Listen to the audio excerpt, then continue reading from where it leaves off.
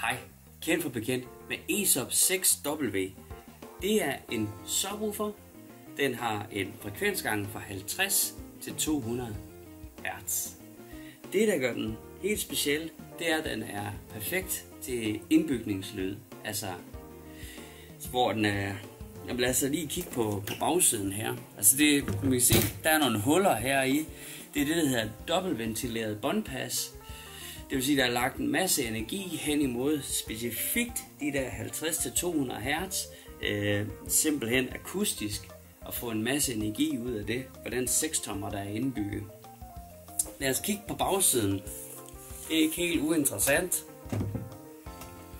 Øhm, det der den er virkelig mindet til, det er, at den er lavet til vægmontage. Der får du de her beslag med, som du monterer på væggen, og så passer det ellers lige i, og der er noget dæmp- dæmpning der imellem. Øhm, sådan der. Og så kan du simpelthen hænge den på det, og så kan du justere øh, afstanden her med de her øh, små spikes her imod væggen. Men det er ikke kun ganske almindelig, altså hi-fi øh, 4 ohms og 8 ohms, øh, altså det man kalder for laverimpedans, at den kan. Den har også øh, sådan, at du kan tilslutte 100 volt system til den. Øhm, og du har et omskifte hernede, altså der er en omskifte, en der hedder Direct. Direct, det er så til 4 8 ohms øh, belastning. Øhm, og det er jo ikke en aktiv den her, den skal jo have en forstærker af en eller anden art. Øh, det, der kunne være oplagt i forbindelse med indbygningslyd, det er, at man trækker et kabel ud fra en Blue 2,1D forstærker, øh, og så trækker den, øh, og så driver den for den subwoofer-udgang, der går op til 180 Hz på, på Blue 2,1D, og så, hvad hedder det, kobler begge, hvad hedder det, altså leftindgangen til her, og så sætter du den over i mono, så der, så de står sådan her. Og så ellers kører dit forstærkersignal ind på left hernede i direkt. Så får du, øhm, og så for eksempel SPE, SPE 82 øh, HQ, slutter du så til som, som, øh, som lofthøjtaler, eller 62 HQ, siden du nu har subwoofer igen under. Men øh, tilbage til øh, vores øh, 100 volt system. Hvis så vi vælger det, så skal vi jo lige over i 100 volts delen her. 70 øh, eller 100 volts øh, system der. Og så kan du ellers øh, føde med 100 volt øh, eller 70 volt herover på den her øh, på det her stik der er herover. Og her kan du se hvad det svarer til øh, hvilken tab, altså hvilken forbindelse du forbinder den til.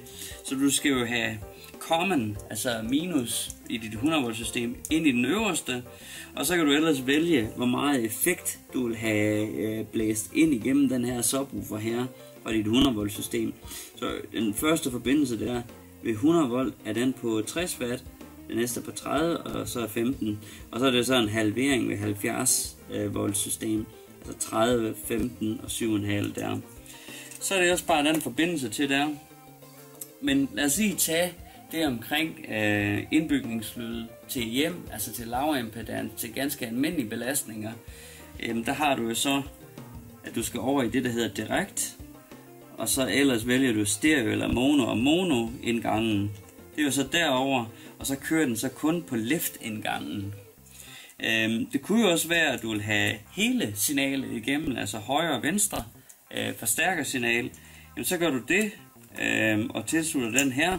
Og så kan du faktisk trække enten 4 eller 8 ohms højtaler ud herfra med delfiltrering. Så du kunne trække øh, højre og venstre signal hen til den her ude fra teknikskabet, og så føre videre herfra og over til et par, par højtalere.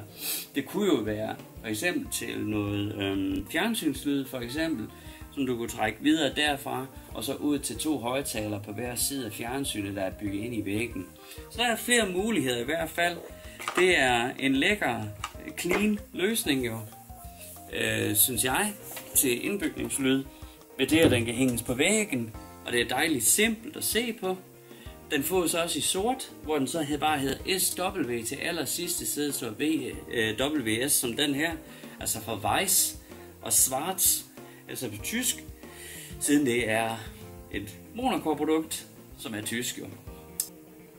Men et godt, solidt produkt, udført i MDF-plade, det er ESOP 6W. Er det kendt på bekendt, og kan det rigtig sjovt med projekterne. Hej hej.